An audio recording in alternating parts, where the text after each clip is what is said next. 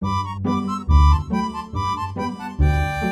んにちは、卵すみれのゆかりです。えー今日はチーズベーコンエッグの、えーラピュタパンを作ってみたいと思います。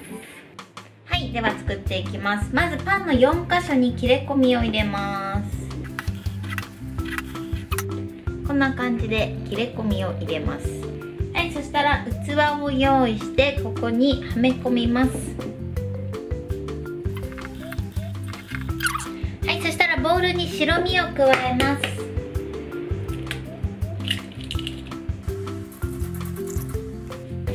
ここに塩を一つまみ入れます。はい、そしたら泡立てます。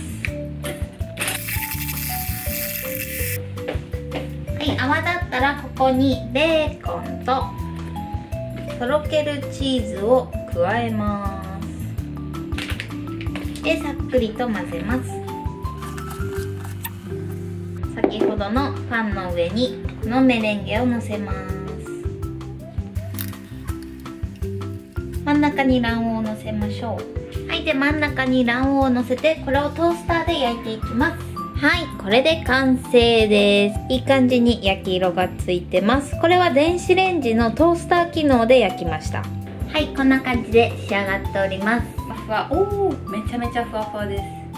いただきます。